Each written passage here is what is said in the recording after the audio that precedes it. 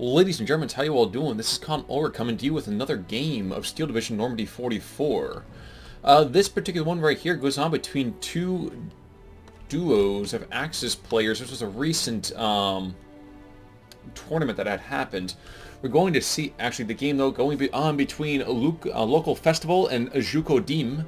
That's over here on the eastern side, as you're looking over here at the screen right now, uh, against You Shall Suffer and UK Harold Alexander. Uh, both players getting just finishing their setup right now. Take a quick look at the units uh, being used. So both of them are going to be using the 91st Luftlande, uh, which is, if my understanding is correct, kind of more of a parachutey kind of regiment.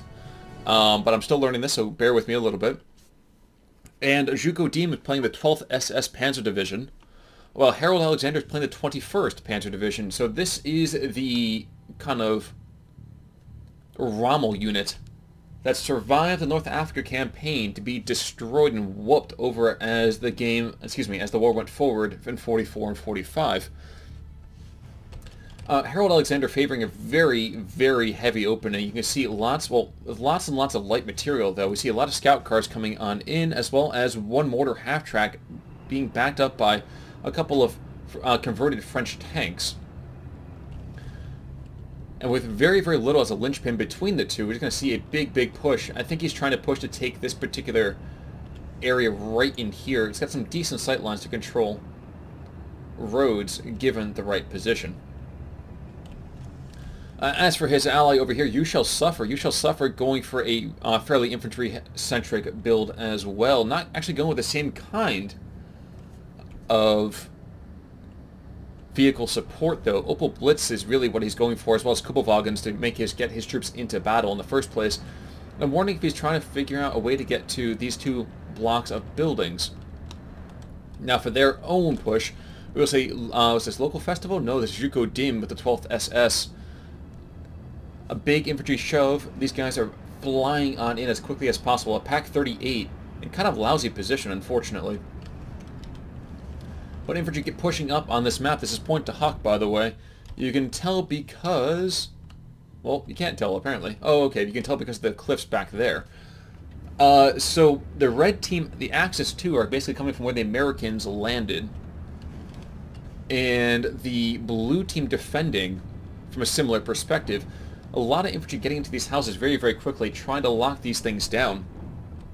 On the eastern side of the map, oof, already we're going to see that a Pak 36 has been blown apart by this big, big light vehicle push coming from Harold Alexander. Okay, a TOT barrage coming in. I don't entirely know how this is coming on through, so I'm sure somebody out there either tell me or tell me what the heck I'm doing wrong, so I'm not 100% sure on this one. Very, very interesting, though. Check back on that in just about 20 seconds. Meanwhile, to the east, we will see the 12th um, excuse me, 21st Panzer Division. 12th is his opponent inside of uh, his ally over here to the west. But the 21st Panzer Division is already knifing on through, pushing back against this 20, this Pak 40s over here in the east. And a TOT barrage coming in, not doing anywhere near enough as I thought it would. Putting, pinning down these Panzer Grenadiers and putting some pressure on the 222. But all things considered, rather rather underwhelming, if I can say so myself. Uh, the 91st Luftlande, though, starts off with a ton of elite air troops. And you can see it right here. These Jaegers coming on in. They have anti-tank, they have anti-infantry. You'll just see a big, big fight between Flammenwerfers and LMGs. Watch Dim getting crushed, I imagine. Quick firefight going to happen between these guys, though. And, you know, the Germans are just in the house next door, so you can't trust those neighbors of yours. ISG, in the meantime, going to get come under pressure from the 222 of the west, and somehow managing to put enough pressure into him, they might be able to stress him out. Okay, so pinned down, but I think he's going to get pinned down himself. And the Jaegers getting completely and totally wiped off the map. Meanwhile, to the east, though, we will see that Zhukodim is carving a bloody path between the two red Axis players and even with 30, uh, 35 Fs coming in from Harold Alexander, it's really a question of what this Pak 40 over here can do. As a, ooh, a Panther 39 coming in. And I've said this in another vi uh, video, but remember guys, for the German troops, uh, early on in the war, they didn't quite have the wherewithal to create huge, huge armor divisions, so they very often utilized captured material from their opponents. In this particular case, if you saw an F, that meant that the tank was converted from a French chassis. If you saw a T, it was from the Czech Republic, so on and so forth. I don't know if they converted the Russian ones very often, uh, because by the time that was coming out, they had their own material more or less up and running. You can also tell that 39F because of that. There we go. This. Um, okay. Can't see this uh, this sled, unfortunately. We can see his line of sight for this guy, and you can see he's not very good at the moment. And that's one of the cool things you really have to understand about this game. But this game is heavily dependent on line of sight. Uh, so Harold Alexander, for example, let's see what he sees over here to the western side. He does see that he's got a lot of his opponent's material pinned down or pushed back rather severely. Although he is still taking some fair losses over here to the eastern side, his ally getting hit by anti-tank positions, his own light troops are going to get pushed back by combined fire PaK-36s and 39 Fs if they're not careful. You can see more 222s flopping down here. This 223 that's not long for this world either, I imagine. Again, maybe on the center part of the map, uh, the lack of infantry from the German players is proving to be quite a liability. These Jaegers are trying to get forward and running into these Juko Deem's uh, Panzergrenadiers. And on the red German right, he seems to be shoving forward just barely himself. So exactly 50-50 between the two.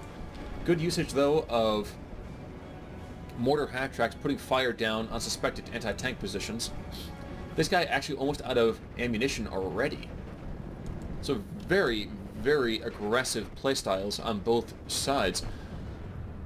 I kind of like that about this game, too. Um, one-on-ones occasionally fall into kind of this very, very low-key stalemate as neither player really wants to push. Where this game kind of really shines is between the multiple commands each, first of all, having to work together, and second of all, um, really getting some good opportunities to showcase what each of these divisions can and can't do. This Panzer III coming over here to the, uh, knifing, I guess, back up towards the cliffs? No, knifing off towards the northern side of the map. You're going to see his sight lines are going to get better and better. He's going to throw a round downrange, going after this 222. Harold Alexander's troops do have control significant portion and are pushing this guy back desperately. Dear God, local festival is getting shredded, and the 91st Luftlande on his side is not doing too hot. But maybe maybe this Panzer III can turn it around. After all, though, it still does have a light vehicle. Was it Kampfwagen Kanone, I think it is? So a PaK-38 really mounted onto this chassis. There's not a lot of considerable anti-tank in the area. That being said, we are going to see a huge, huge shove of trucks from local festival trying to stabilize his position, his infantry getting shredded. And really, if you're looking at it from the super, super macro level, if Harold Alexander can get all the way up here to take out these, um, this area right here says land or air, that means that your opponent's not going to be able to reinforce and send in troops from that particular uh, sector, making it even easier for you to control a given position. But the Panzer III has claimed his first victim, a mortar half-track going down over there on the western side. Meanwhile, oh, actually, excuse me, to the northern side, I forgot. This little arrow right here um, dictating those positions. Meanwhile, on the southern side of the map, or the right side as we're looking right here, we are going to see the 91st Luftlande uh, from Axis 2, i.e. You Shall Suffer, is able to take this rather significant portion of the map. This is a town right here, and this controls several different roads given the appropriate reinforcement. You can see right now that You Shall Suffer is trying to consolidate his position, moving up a mortar as well as a couple of decently heavy tanks in Phase A here. Still not anywhere close to Phase B. We've got another two minutes before that happens. And although there's a big shove from local festival and Juko Deem trying to connect their forces in the center, uh, it does seem that You Shall Suffer is trying to rush reinforcements into the area. And with that, uh, the red team has taken 51% of the map. They seems to be stabilizing their position a little bit, sitting in defensive spots here. And this 35F could really... What the heck happened to him? He was just he was just there. Where did he go? Oh, okay, he's, he's being called in. Thought I saw a tank right there, and I thought to myself, perfect, he can charge on in. There's very little in the way as anti-tank. Yes, there's a Panzer Abwehr back here, and these guys do have Schrecks. And of course, there's this Pak-36. But initially, these positions right here could all be overrun by this light 30, uh, 35? 30, yes, 35S F. So the Französische tank could be a very, very important piece as we're shifting ahead in this map. And look over here on the blue right, the local festival facing off against Harold Alexander. Uh, first of all, guys, Harold Alexander, historical general, he served for quite a bit of time in first, first, excuse me, the First World War as well as the Second. Ironically, I believe he is fighting as one of the units he faced in North Africa. And you can see right now that he's um, pretty much crushing his opponent, local festival, not able to stand up to the heavy firepower given to the 21st Panzer in Phase A. Of course, all this aggression is coming at a cost. You do see that this cannons on these scout cars are completely and totally out of ammunition. And indeed, even the infantry running out of ammunition, the MG34s. So, um, Opel Blitz is coming in, though, to kind of support that and resume the push and help them out. But what I would like to see, excuse me, is a drive down this arterial right here, not only to capture this area, but also to kind of cut off this big pocket. This could be a massive, massive opportunity for the Red Axis to really wipe out a, a lot of material from their opponents. Now over here on the blue left, we will see though that uh, Dim seems to have things well under control. Uh, the 12th SS Panzer does have, if I remember correctly, a decent, a decent early game. They start to get um, ramp up a little bit more in Phase B. You can see that now with the Panzerwerfer coming on in, so this thing could be quite good with the Nebelwerfer's uh, 41.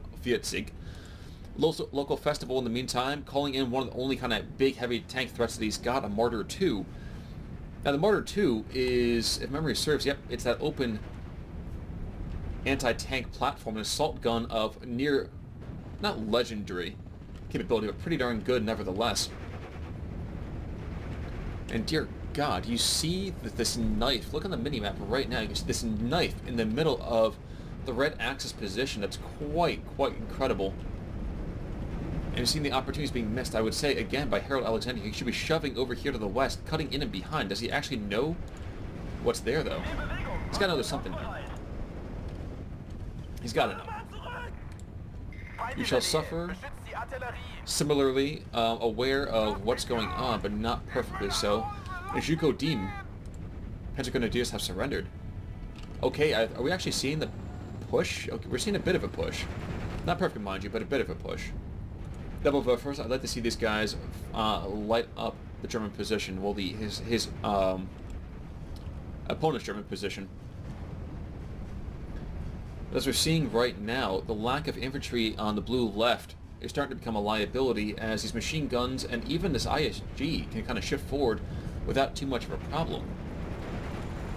In the center, of course, this Pak-36 is still able to hold down the line, and these Panzer Abwehrs, as well as P-Grens, are able to take out the light vehicles that are coming against them. But although the center is great for the blue axis, they're getting shredded pretty much everywhere else. Now, where's that Nebelwerfer? Is a Flammenwerfer half-track? Excuse me, Flammenpanzer. Not really a Flammenpanzer, though. That's more of a... whatever. Not important. Okay, but the Nebelwerfers are going to be lighting up here. He's reloading right now. I'm trying to figure out... Okay, he threw down a nice little barrage over here. Did clear out some of this position. But not enough to make really freak out um, You Shall Suffer, really, at all. The Marder 2 is coming up this arterial, going to push back quite a bit of this territory, but these Schwab troops should be able to spot this out pretty darn quickly. And now, Harold Alexander calling in his own essential Nebelwerfer. No, but this is more of a, was it Stuka I would guess. No, this is true, a true Nebelwerfer, isn't it? Hmm. The Germans did eventually start to utilize the idea of rocket artillery uh, much more consistently after running into it on the Eastern Front, mounting rocket launching racks to their early half-tracks. But even at that point, it seemed it was a little bit too late for them to use it effectively. Oh my gosh, this guy's got picked off by him? No, couldn't have been.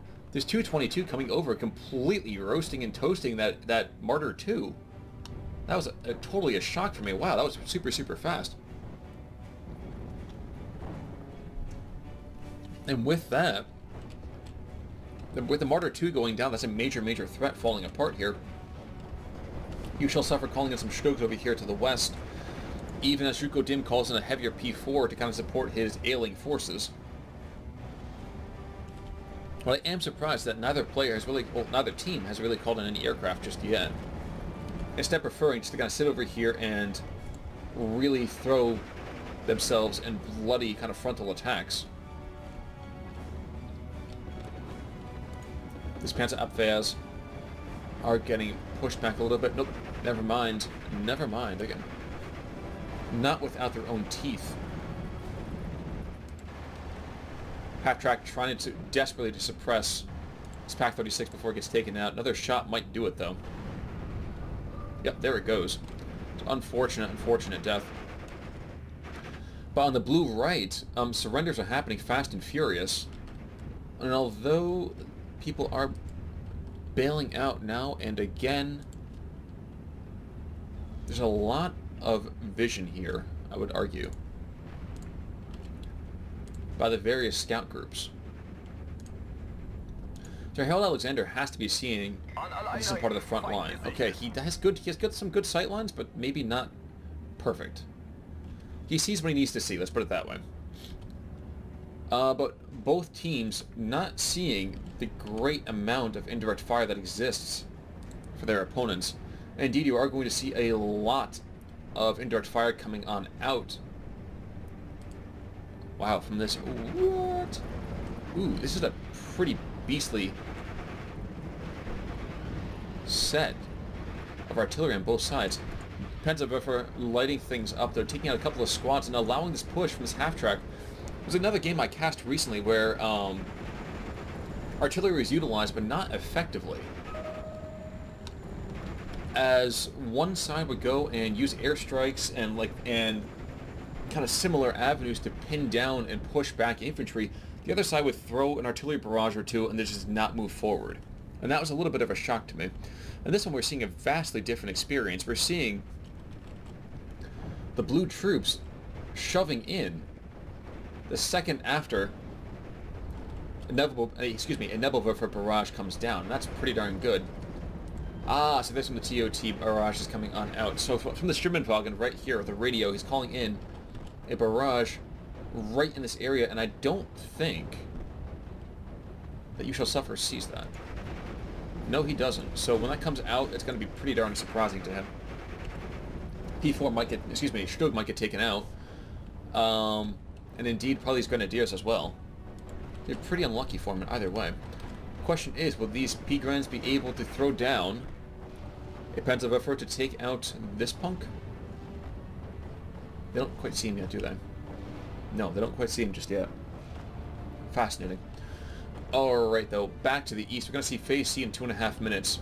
check in on the center part of the map. Still, still, this is a bastion for the Blue Axis team. Even though Axis, the Reds do control 51%, the Blue Axis have this knife in the middle, separating the two groups of um, the Red Axis team. And more TOT barrages just keep coming on in.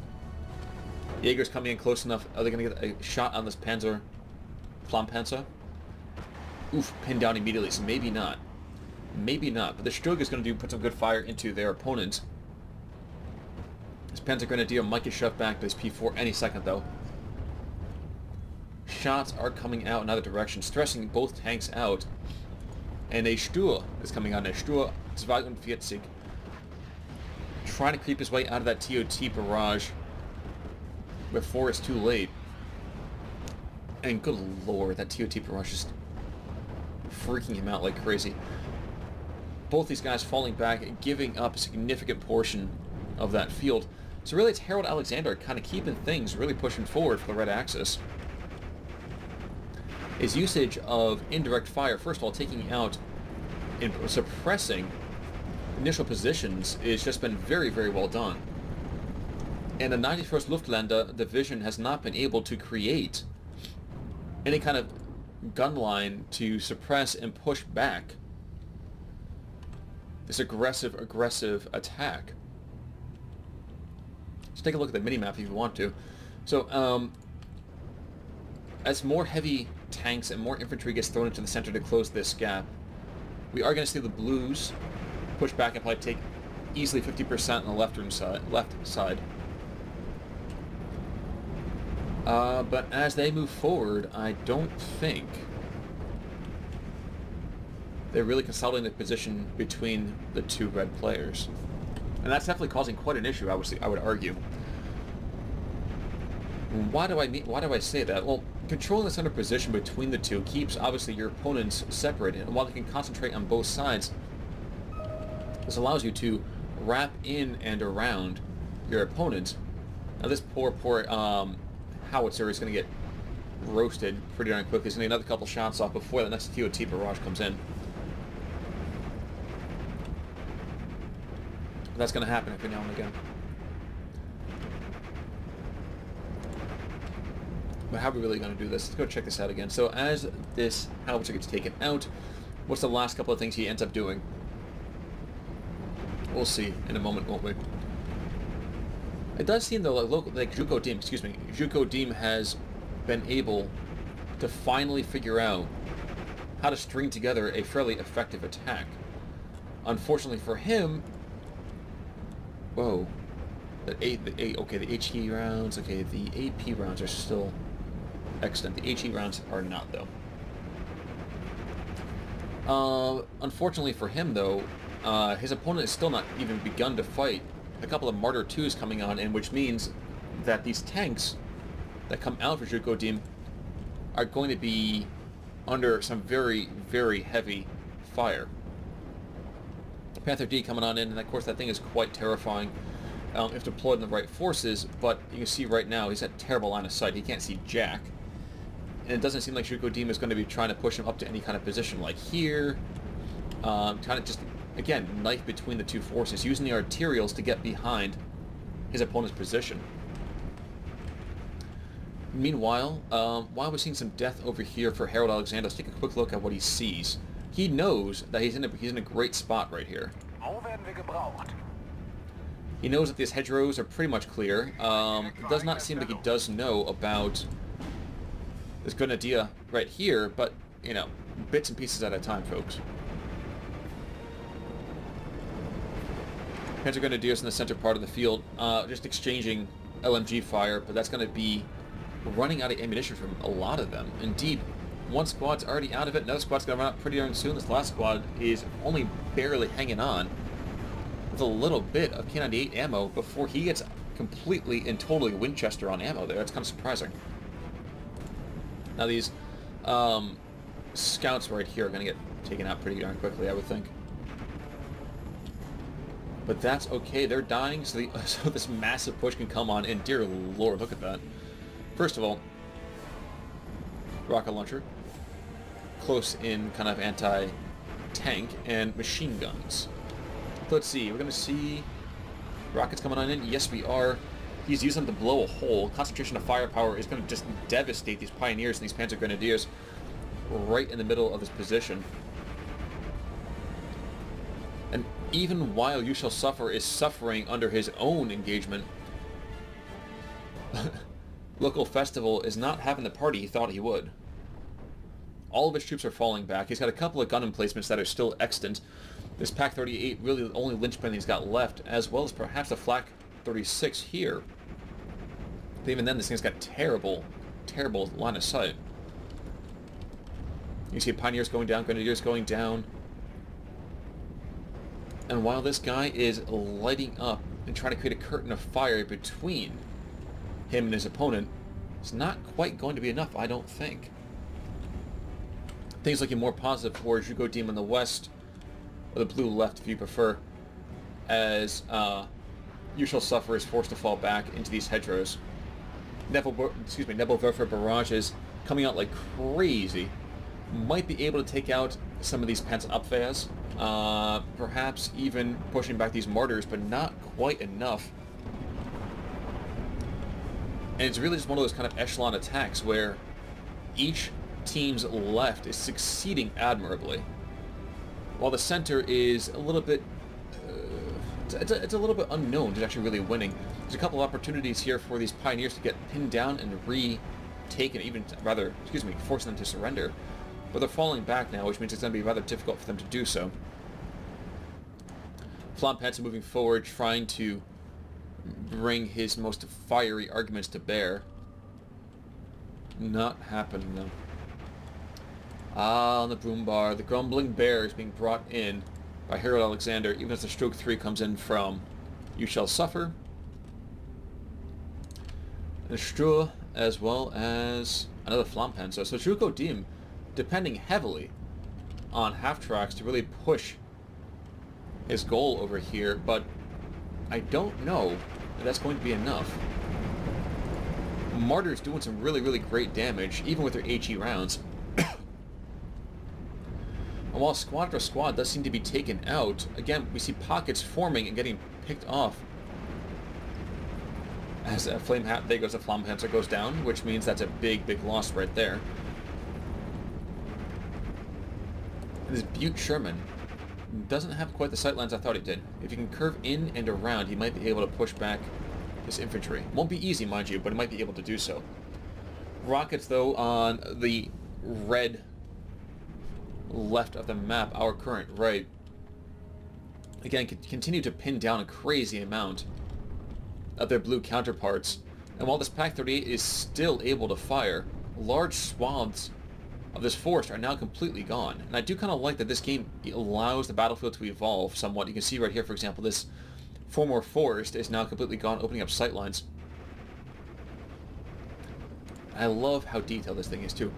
The shooter here has been wounded by spalling. So micro um, fragments of metal have just shredded the poor gunner. Gonna focus over here to the right side, I think, to have Harold Alexander kind of continue to push forwards. Now, do his guys have the rockets back under control? His mortar half-track not is kind of ready to fire.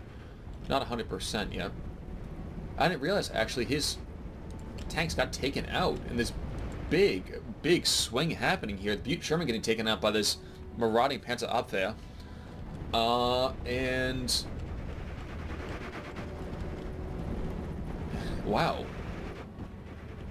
And you shall suffer, suffering greatly under the effects of a Panzer IV Jagdpanzer and more Panzerwerfer barrages. For some reason the Panzerwerfer barrage just shredding this area here. Again, trying to open up a lot of this territory for more sightlines? I don't know. That's one way to remove a hedgerow. Not a great one, mind you, but still one nevertheless. We have it coming on in, so Junker 88 coming in. This could be a big, big gun run. He's going to take a lot of un uh, unfriendly fire, but if he can take out this flock position, no, doesn't quite manage to. The Struhe is coming under fire. He's throwing off a couple of rounds here and there. And after controlling such a great part of the map for so long, the Red Axis team is now the ones giving away tickets across the map. Currently 128 to 1069 though, it's going to be very difficult for me to see how the Blues can effectively push their their cause, at least without tabling their opponents. Flammpanzer coming on forwards, I think You Shall Suffer is definitely definitely without any sort of recourse at the current time. He's managing to kind of stabilize just barely. Uh, his Pioneers rushing on in, trying to take out his Pak 50, excuse me, Pak 38 50 millimeter. Does manage to do so? And he's shooting up a couple of trucks here and there, but it's not going to be enough. Indeed, the second he gets stressed, he's going to surrender, and that's going to be a decent loss by itself. ME-109 coming on in with uh, a ground attack doing pretty darn well. And it seems you, uh, Harold Alexander over here to the red left has run out of steam completely. He's got very little left. He's not being able to call in any heavy tanks. He's got very, very little. So I had thought that the red team had this ball in the bag, but no. No, finally we are seeing, is that a Nebel? Wirbelwind. I was going to say Nebelwind. Wirbelwind with a, a quad flak vetting 830. Uh, but that's mostly anti-aircraft. I'm not sure he'd really want to bring that up close to uh, the front line. Not very well armored, as you can see here. But the blue axis, I think, have things wrapping up. Wow, I'm surprised. I'm very, very surprised. Heinkel coming in, doing uh, a nice little gun run, taking the Jagdpanzer, and might be able to take out this Panzer IV if this Rebel doesn't take him out, or if this Me-109's Wow, three Me-109s. This guy's not making it out. Yep, there he goes. He's dying as we speak. In the meantime, over here, 222 going to get taken out pretty darn quickly, I think by... Yep, there it goes. He surrenders. Um, these scouts at the same time are going to get picked off. This Panzer up there is going to do pretty darn well. And now we're going to see the Axis number one has managed to stabilize this. Now they're even going to win in 15 minutes if the rest of this game continues the way that it is already. It seems, though, that uh, You Shall Suffer is not yet giving in. Harold Alexander has not called in anything a whole lot recently, but uh, You Shall Suffer not giving in just yet. Calling a couple more bits of infantry. As now the Heinkel comes in himself and putting cannon fire into this Brummbär.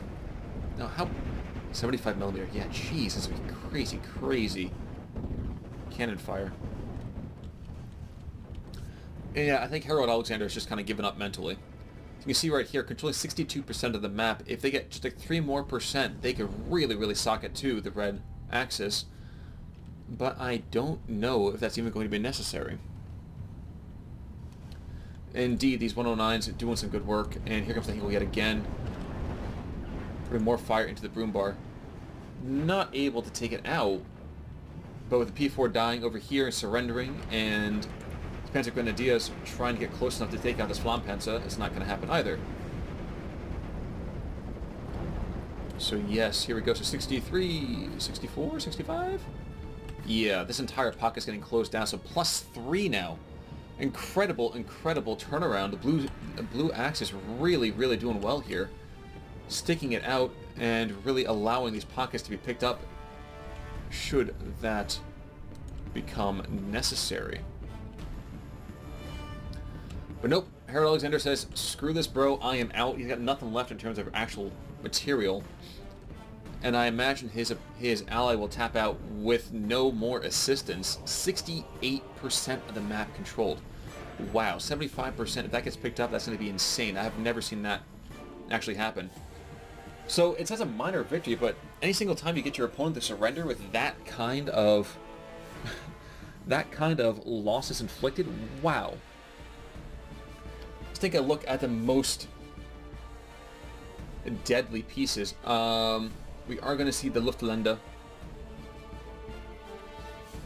30, Pak 36 doing some good work against UK Alexander. Yeah, actually a lot of this damage is being done just by anti-tank guns, really, really sealing the deal. But let's not forget the damage done by some of the aircraft. I didn't see a single, well, that's not true. I saw like one or two aircraft being called in by the red team, but the blue team just own the skies between Me-109s making runs and the Heinkels and even the, the uh, Junker 87s and 88s. It was an incredible, incredible display of air power. Nevertheless, folks, um, thank you so much for tuning in. We had a blue victory here, so congratulations to, oh my gosh, I can't think of their names already, uh, to Local Festival and Shuko Dim. And bad, bad defeat, unfortunately, for You Shall Suffer in UK Alexander. You guys had definitely an early, a great early game. Alexander far more than you shall suffer. But if you guys want to see more of this, uh, please hit that like button. Give me a subscribe or two if you haven't subscribed just yet. I post five or six days a week, and I'll see you guys all soon. This is Khan Ulric signing off. Take it easy.